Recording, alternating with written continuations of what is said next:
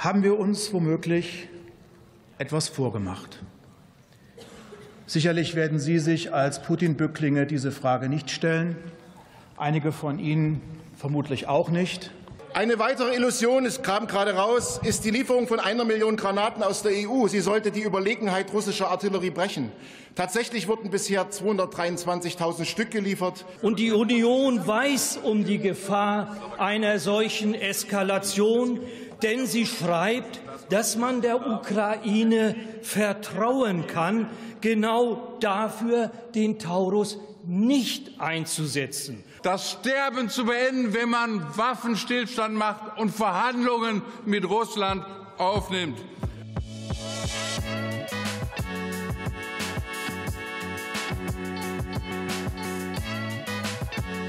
Frau Präsidentin, meine Damen und Herren! Seit 20 Monaten tobt der Stellvertreterkrieg in der Ukraine. Und nun ist klar, was die AfD immer gesagt hat. Ihre Kriegsziele sind gescheitert.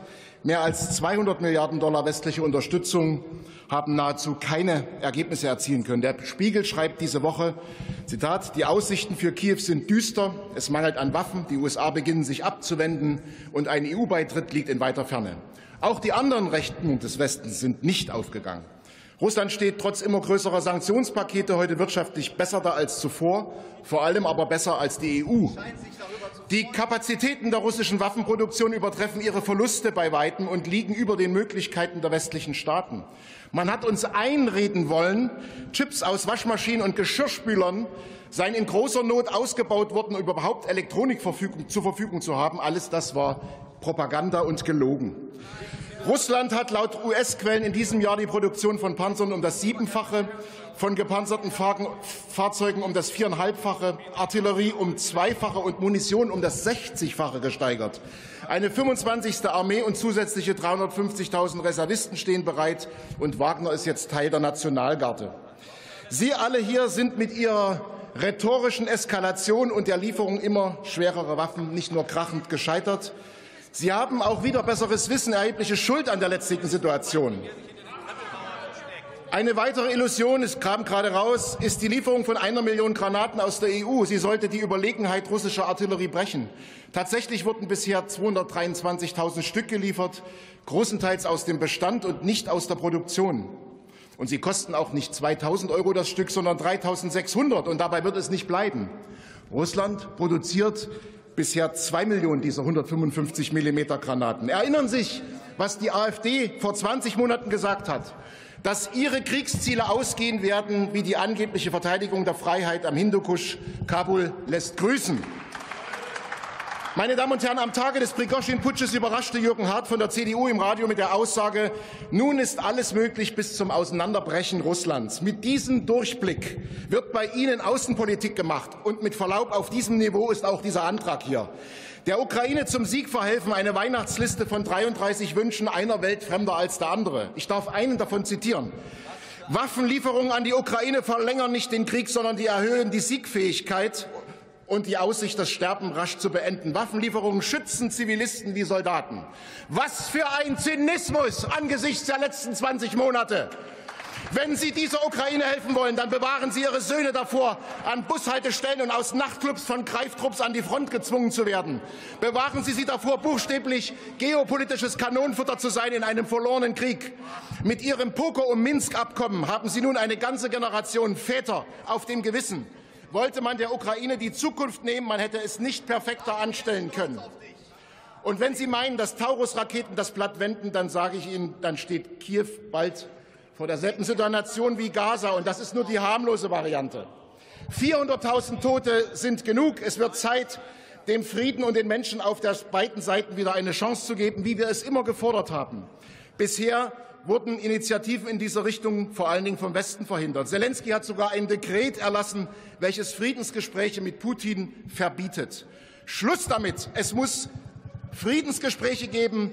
Macron sagte das schon vor einem Jahr. Lassen wir die Menschen in den umkämpften Gebieten selbst entscheiden, wie sie zukünftig leben wollen. Der Wille zum Frieden und seine Notwendigkeit waren niemals aktueller als jetzt. Ihren Antrag lehnen wir ab. Und der Name dieses Tagesordnungspunktes ist ja auch schon korrigiert worden. Offensichtlich war Ihnen der ursprüngliche Name zu peinlich. Vielen Dank.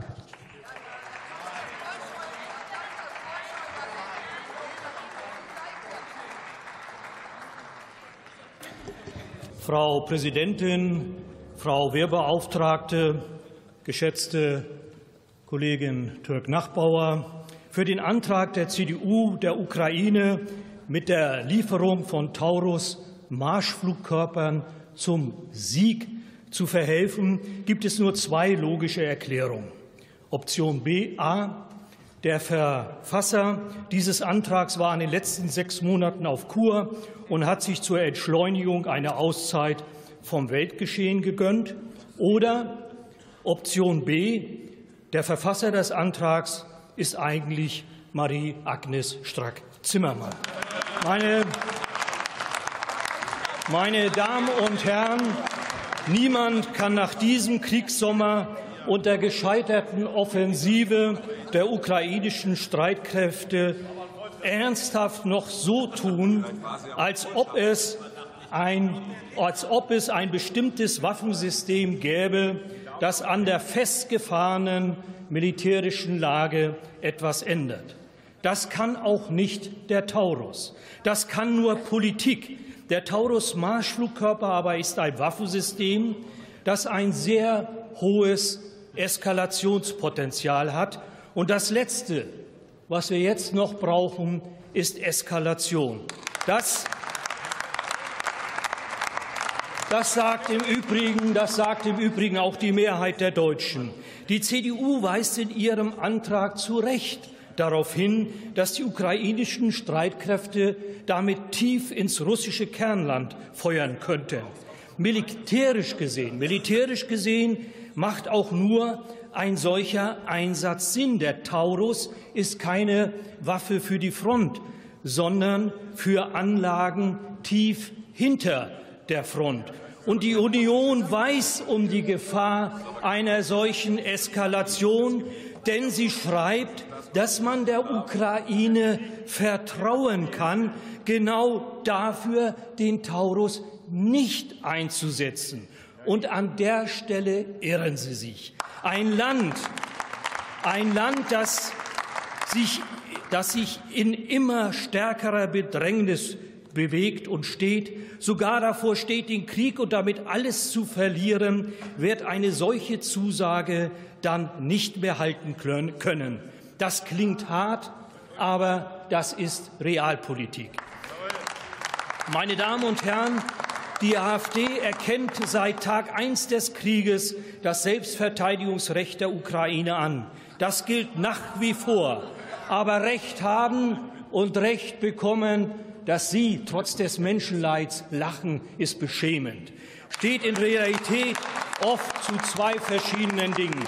Deswegen muss die Bundesregierung endlich dazu übergehen, einen Waffenstillstand zu unterstützen. Auch das fordert die AfD seit Beginn des Krieges. Der Antrag der CDU auf Lieferung von Taurus lehnt die AfD ab, weil er ein Brandbeschleuniger ist und nicht Schluss. zur Löschung beiträgt.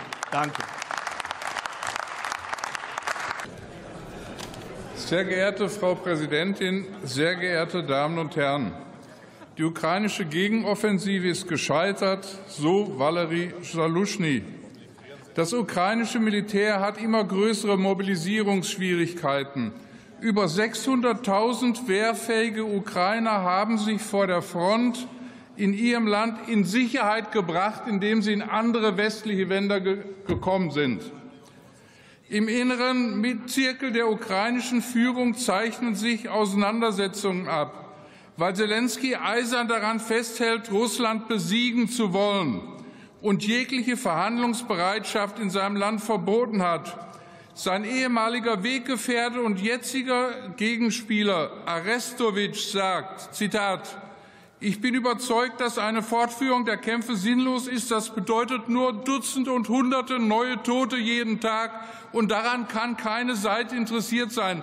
Deshalb ist es an der Zeit, sich an den Verhandlungstisch zu setzen. Zitat Ende. Das sagt der wichtigste Mann, der mittlerweile immer mehr Menschen in der Ukraine hinter sich weiß und der auch Zelensky irgendwann ablösen wird. Für eine Beendigung der Kampfhandlungen schlägt Arestowitsch vor, dass die Ukraine zwar nicht auf die russisch besetzten Gebiete verzichten soll, sich aber dazu verpflichten soll, diese nicht militärisch zu erobern. Die Menschen in den besetzten Gebieten sollen diese verlassen können, alle Kriegsgefangenen ausgetauscht werden. Und dazu kommt man nur, das Sterben zu beenden, wenn man Waffenstillstand macht und Verhandlungen mit Russland aufnimmt. Weiterhin setzt sich Arestowitsch für Wahlen in der Ukraine ein, die sein Gegenspieler Zelensky verhindern will unter Berufung auf das Kriegsrecht. Dieser Zelensky ist genau das Gegenstück dazu, was Demokratie bedeutet. Er lässt seine Gegner teilweise sogar im Ausland ermorden, wie wir Kommen das Sie wissen von der Schluss, Tochter von. Dugin. Er hat in den Ostgebieten in der Ukraine tausende Menschen mitgeholfen, zerstören zu lassen durch die permanenten Angriffe auf die Separatistengebiete. Wir wissen, dass das Herr so ist. Abgeordneter, Ihre Zeit Ein ist überschritten. Wort zu Kommen Sie bitte Taurus. zum Schluss. Herr Kanzler, das ist das Beste, was Sie machen können. Geben Sie diesen Kriegstreibern nicht recht, weder bei der CDU noch bei den Grünen. Ja, ja. So. Herr Fahle, es macht keinen Sinn mehr.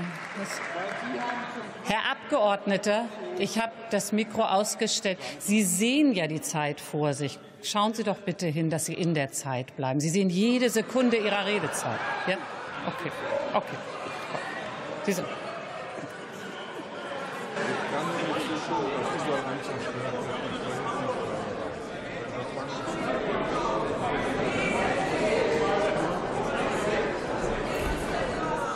So, der letzte Redner in dieser Aussprache ist Dietmar Nitan für die SPD-Fraktion.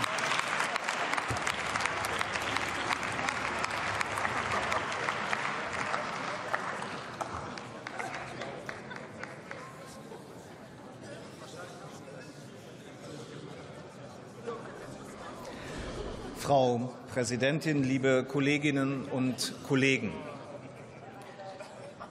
Wir haben hier bis auf wenige Ausnahmen eine sehr sachliche Debatte geführt, weil, und da sind wir uns, glaube ich, einig, die überwiegende Mehrheit dieses Hohen Hauses ein gemeinsames Ziel hat, nämlich das, dass die Ukraine diesen imperialistischen Angriff der russischen Föderation zurückdrängen kann, und zwar in einer Art und Weise, dass am Ende die Ukraine auch gewonnen hat. Und wenn das so ist, dann ist es natürlich wichtig, sich miteinander darüber zu unterhalten, wo müssen Dinge noch besser werden, wo müssen sie schneller werden. Wo wären wir denn, wenn wir das nicht öffentlich debattieren?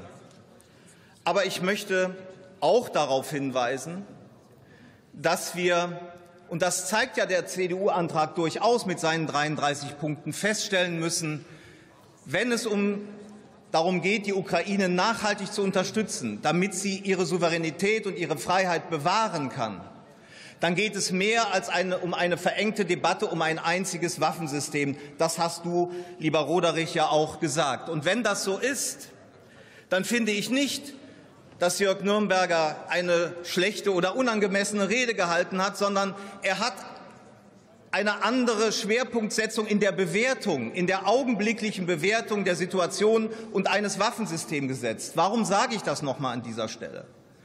Weil wir ja feststellen, dass es die Feinde von Freiheit und offenen Gesellschaften in Europa nicht nur von außen gibt, in der Russischen Föderation, sondern auch von innen in unseren eigenen Ländern.